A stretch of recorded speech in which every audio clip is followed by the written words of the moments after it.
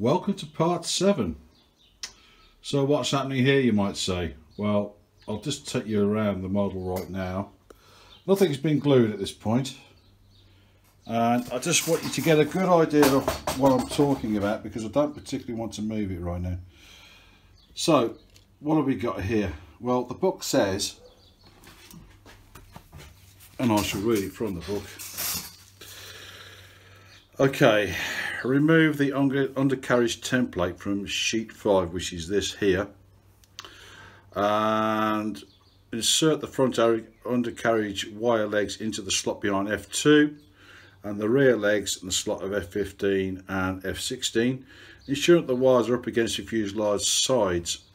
Tape the template between the front carriage legs forward of the wire ensuring that the top of the template. Is up against the fuselage that the undercarriage legs are against the template i.e. use the tape to pull the legs together uh, place the undercarriage winglets into the build, building board pin down whilst at the same time support the rear of the fuselage there like that. Okay let's carry on. Uh, to support the rear fuselage though, it is level either by the use of a spirit level in the gun bay, like that. By the way, you can get these on eBay, They're the dirt tube. Um, okay, let's carry on. Or uh, the height, so blah, blah, blah, blah. Floor to check that the this is level or set to a height to the top of the rearmost part of fuselage to a height of 121 millimeters from the building board. So for yeah, those of you that don't use millimeters, it's 12 centimeters, one millimeter, which this is. I'm having to use my tape, a little bit of scrap balsa and my uh, sharpener. And it does come out 12.1. Okay. Check that the uh, undercarriage subwing is square and central to the fuselage and then apply two-part epoxy glue to the joints between the undercarriage legs and the wing assembly and allow to fully set. Do not stick the undercarriage to the fuselage at this point. Once the glue is fully set, remove the undercarriage assembly. So what we're doing is we're gluing everything here and here with epoxy, letting it set and then taking it out um, because it's not going to be a great idea to leave it in like it is. I can see that myself. Uh, and then later on, we've got to locate and remove 30, 132nd parts LG10 times 2 and LG11 times 2 from sheet 9. Stick the parts into position between the ribs shown uh, around both undercarriage legs on each side, uh, LG10 at the front and LG11 at the rear. Well, we'll come back to that. Well, so what I'm going to do now is let me see if I get this right. We're going to fill this in with epoxy either side. Now it looks to be square on to my eye and I hope to yours and it is level with the gun bay uh, so that's another reason why you need to ensure that you put that in level with the top of the fuselage when you when you put it in. And that is at 12.1 so I'm quite happy with that. So I'm going to put that glue in uh, off camera because it's going to get messy. Right so the uh, the resin's gone off now. And all you got to do is put these LG11 and LG10 on either side. And you just you just wick them in. They just bend over the wick them in. It's not a big deal. You, you need some tweezers for that. It's rather interesting to note that uh, it stands up on its own. Anyway it looks like it's the wheels next so let's have a look at that. So the next part is making the wheels. So this is one I made earlier. Do you know I've always wanted to say that. This is one I've made earlier. So this is what you're going to end up with. So to achieve that, um, what you've got to do is there's some aluminium tube in the box. is cut two pieces at nine millimeters long. And then you'll have these which are W1 there's three W1s and what you've got to do is basically put them like that. Okay. And well haven't got to put it like that and put it like that. So you sort of balancing it out a little bit. Then you get the W2 and they're both marked with a cross. One of them has to go on the inside so you can't see the cross. And the other one goes on the outside so you can see the cross. And then you apply W3 which is these. And then you add epoxy resin to them. You've got to make sure that the aluminium tube let's get this all the way through. Can be a little bit fiddly if you're doing this with the camera in front of you. There you go. Let it go in. Come on that's it. There you go. And then of course the crosses go on the inside. I don't think it particularly matters if it goes on the inside or not but it says put them on the inside. So there you go. And it says allow five millimeters to stick out the other end so you can push that tube in a little bit. Sorry not five millimeters half a millimeter.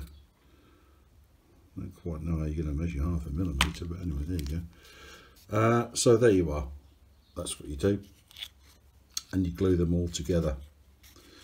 And then once you've done that you put W3 on where the ends are touching the aluminium tube. You put epoxy in here. You then get the rubber tube. Now I did have one at hand. Where's it here it is.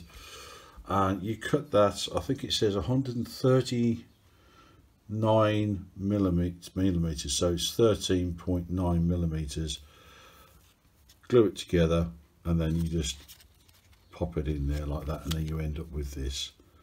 And that takes you all the way to the next construction which is the uh, the front cowl. Uh, and they're going to step one there. So that's what you got to do to get the wheels together. And uh, I'll probably leave it there actually because I'm not really sure how many minutes we've got left. If we've got some left I'll probably start the next bit. Anyway I'll have to uh, pop this together and um, see you in the next part. Right I've decided to patch this on the end because I think I can do this one quite quickly. Um, now in the instructions it says to locate parts C1 through to C6 from sheet 21 and cowl parts cowl part, C7 to C9 uh, which I think is sheet 22 it doesn't tell me here. Locate plywood C10 used earlier to align F1 and F2 which is this piece here. So you know I hope you haven't thrown that away uh, place, uh, place C2 on a flat surface, insert C10, which is that, into the horizontal slot. Add parts C3 to, through to C9, slotting them into the plywood tongue, making sure that they are in the correct order, like this. Check that the three holes are lined along the lower curved inner edges before wicking. CE, C8 to all joints before the cowl parts, including the plywood part. Then, let's make sure we've got this right because there's a photo of, stick that through again, into there, that's right. C9 being the last one. So it should have something, that's C2, take C2 out. Something looks like this. Ah, I see what happened. Yeah, so if you put that back and then put that on top like that, we should have an identical image to the photograph. So C1, actually they don't mark C1, you have to look it up with the, uh, paperwork. So yeah, okay that looks fine to me. Uh, this goes all the way through. So all you got to do is put that through, cement all of these together, take the front part, line that up, it seems by eye, okay, making sure this dotted line is to the front because you're going to use that I think for sanding. Uh, and then glue that. And then you've got to turn it over and you have to take a 3 mil dowel which they supply and stick it in there like that. And oops where's it gone? There it is. And stick that there in that like that. And this lines up with the fuselage a little bit later. And I think that will probably do for this episode. And I will glue them all together.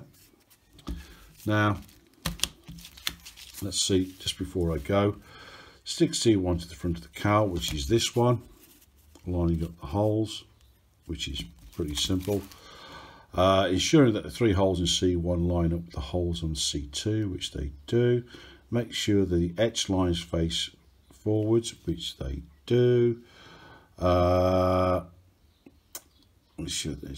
outwards as they are used to guide how the cowl is shaped. So it seems to me that to these photographs you've got to shape it no further than that going this way. It's a pity it's not perfectly circular. You can put that in the drill and put a sanding block on it and just rotate it until it's right. A bit like a lathe. Laquette applied 1 8 through millimeter down and cut two lengths, stick them into the 1 8 millimeter holes in the rear of the cowl, ensuring that they are square with the rear of the cowl. So that's that okay. And that's what they show. So it's going to be the next part is going to be shaping this using the plan and the etched lines at the front as a guide carefully shape the front of the cowl to help with the shape of the rear part of the cowl.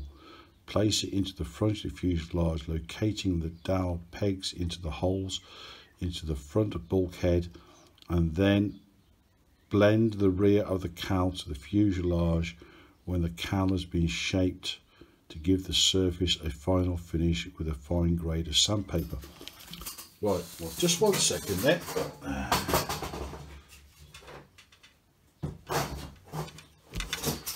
Because according to that, this should line up with that hole there and that hole there. So just while I'm in the mood to do it,